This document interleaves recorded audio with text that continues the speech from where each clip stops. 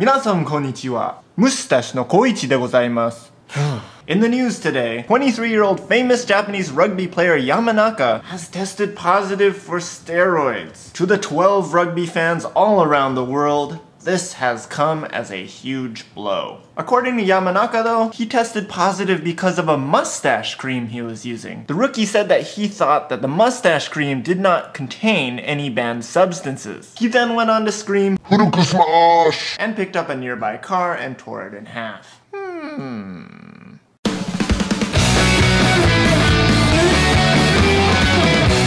I don't know, man. This this whole situation is just making me feel kind of emotional. Like I need to get something off my chest. Like I like I want to sing. I must ask you a question after your practice session. Why'd you do it? Why'd you do it? What did you hope to achieve? I really want to believe that you did it for a mustache that I cannot perceive. Why'd you do it? No, seriously, why'd you do it? Why'd you do this to your fans? Why'd you do this to your mom? When I think about your mustache, it really turns me on. um, I mean, ah, screw it, I'm not hiding. I love that mustache. At first I thought it was a trick, so luscious and thick. I wanna touch it today, but you're so far away.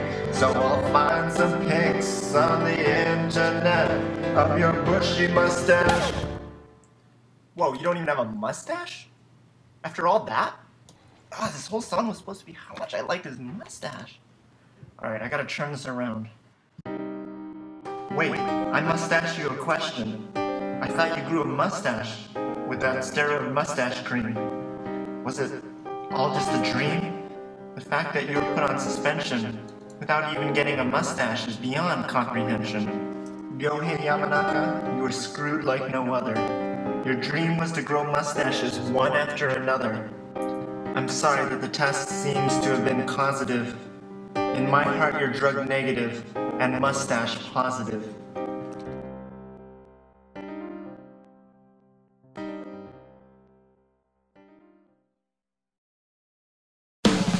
And then, believe it or not, they suspended him for using that mustache cream, which is supposedly bad, but I, you know, I, I use it all the time. I think it's Koichi, what's that on your on your neck?